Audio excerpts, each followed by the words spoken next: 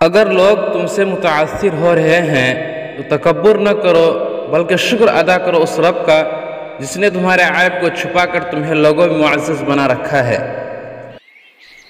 इंसान को अच्छी सोच पे वह इनाम मिलता है, जो उससे अच्छे अमाल पे भी नहीं मिलता, क्योंकि सोच में दिखावा नहीं होता।